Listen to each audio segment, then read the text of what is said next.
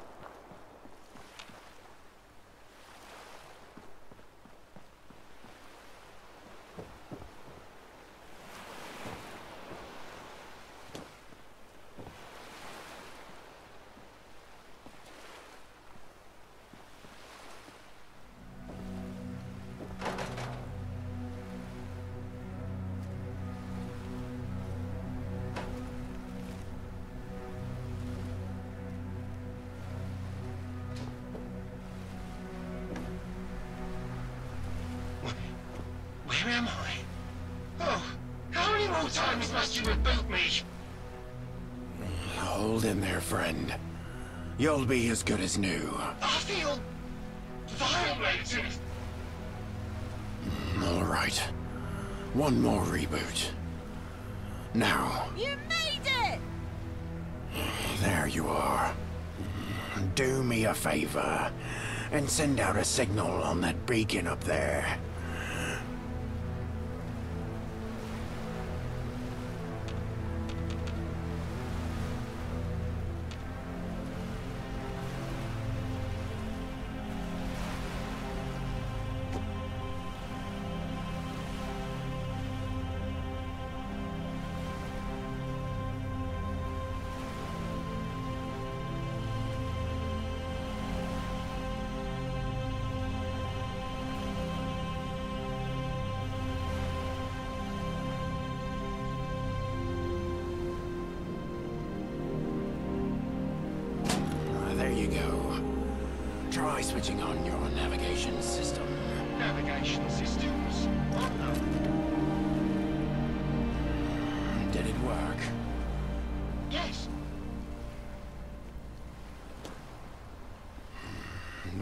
Don't sound too enthused.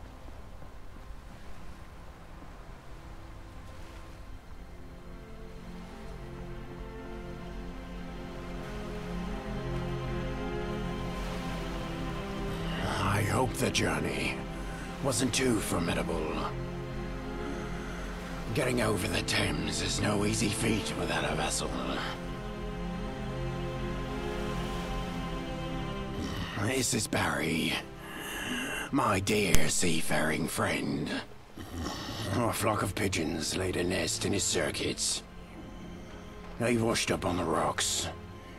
I'm not sure which happened first.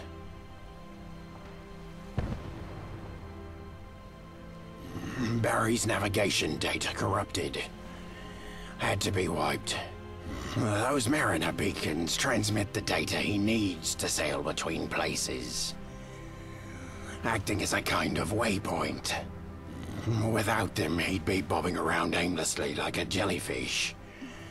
There's quite a few beacons along the Thames.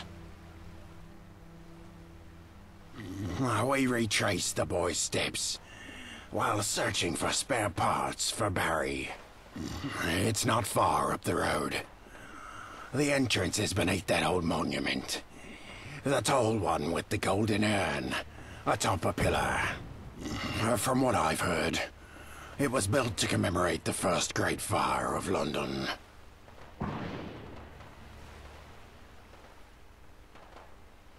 Three. There was the original. That was before the war. Then there was the war. That was the second one. Then we had another one 50 years ago. And that's it for now. Mm, the boy knows his history. Wait! Those people I was with. They're the closest thing I have to family. Please rescue them. Or find out what happened. If you do, I'll know where that ghoul was headed. The one I escaped with. He might be able to help you. He said he knew about other labs. Here's that key the boy swiped. Good luck.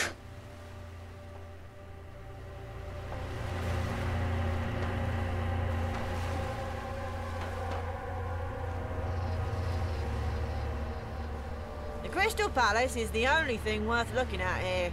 And even that's a pile of rubbish now.